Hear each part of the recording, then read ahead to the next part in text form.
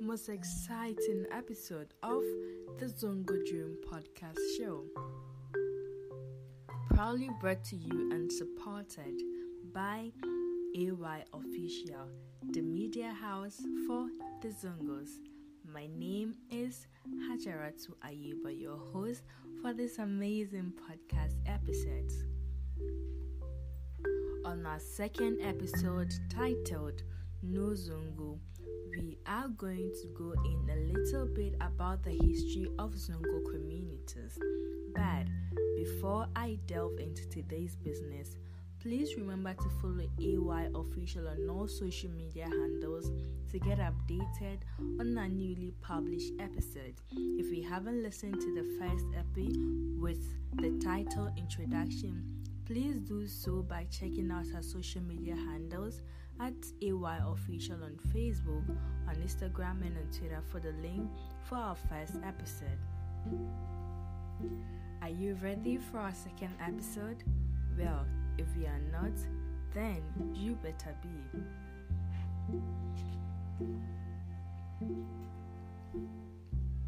To start with, Zongo communities are found in all 16 regions of Ghana, with a much denser population in the Greater Accra and in the Ashanti region. So, everywhere you get to in Ghana, there is definitely a Zongo community. Are you wondering where the next Zongo community is? Well, just send us a DM on Facebook or on Instagram at AY Official. Let's direct you to the nearest Zongo community. The first quarter of the 19th century, the earliest Zongo community started in Salaga and other established ones in Tamale, Yendi, and Ijizu. However, the largest and one of the oldest Zongos close to the coastal belt started in 1810 at Ussher town, presently called Zongo Lane. Now, Zongo Lane can be located before you get to Accra Post Office High Street area. Let's move on. In the present day, Zongo communities in Ghana are a community of people from the lower and middle class of tribes from both northern and southern Ghana, as well as legal migrants from neighboring countries like Niger, Nigeria, Mali, Burkina Faso, and other countries. The Hausas from the northern Nigeria are the pioneer settlers of Zongo communities, which is very amazing. The name Sabon Zongo from the Hausa language literally means new settlement. So if you are walking and you hear anything like Sabon Zongo, it just means new settlement in the Hausa language. No biggie about this.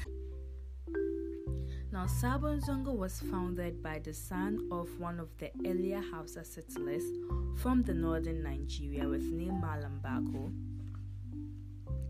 So, Malam Bako was the son of Malam Naino. Do forgive me if I'm not getting the pronunciation of these names right. Malam Naino and his close associates Malam Garba arrived in Accra from Katsina between the years of 1845 to 1850 to spread Islam. 1881, Malam Naino and Malam Garba secured a land from the chiefs and elders of Ussher town to establish the first ever Muslim settlement called the Zongo. Not long after the death of Malam Garba, who was instated as the chief imam of Accra, Malam Nain or his associates arose a succession plan among the various migrant tribes in the community, and all other tribes had petitions sent to the colonialists regarding who should be the next chief imam. Well, so the Hausas chose Alaji Kadri English. The Yoruba already had a chief with name Raima. The Zabarma, which are my people, also had their representative alongside with the Fulanis and the other tribes. At the end, every other ethnic group in that Zongo community had a chief instead of one central chief overlooking the affairs of all other Muslims in that community.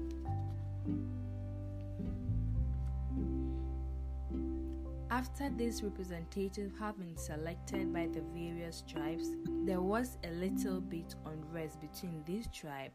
So, to settle the unrest, the Ga Mantse decided to relocate the Agriv Hausa people, including all other tribes I have mentioned previously, to a place that was a few miles away from the first established Zongo in Accra. This place was actually the first properly demarcated and mapped out Zongo community, and the name is Sabon Zongo. So it's not actually far from Korle and it's very closer to Latibia Koshin. So when you get to Lartebiokorshie, it's very easy to get to Sabon Zongo. This would be all for this episode. As in our next episode, I'm going to have a detailed conversation with the chief in the Zongo community to really explain to us how Zongo really came into existence. If you have any questions you want to be answered, please leave your questions and your comments under our post on Facebook at AY Official. Remember that also the Zongo Dream podcast show is proudly brought to you and supported by AY Official, the only media house for the Zongos.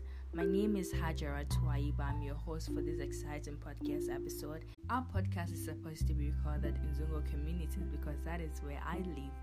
But I'm in Germany right now doing a project with Dan Grassroot and Future of Ghana Germany on plastic waste management. So I'm actually recording this podcast live in Germany, Hamburg, and I'm super excited for this opportunity. Thank you so, so, so, so much for sticking with me on this amazing second episode of the Zongo Dream podcast show. Please remember to follow AY Official and all social media handles and always keep in mind that people from Zongos are not inferiors. People from Zongos are hardworking, they are dedicated, they are, they are all in all, they are extraordinary and shout out to all my Zongo people, you know, Town Council Line, Chikura, um, Sabun Zunguni, Mani, Town, Medina, Fadama. Um, a very big shout out to everybody living in this community and communities outside the Korea also. Um, let's keep being us and, um, you know, peace out. Bye.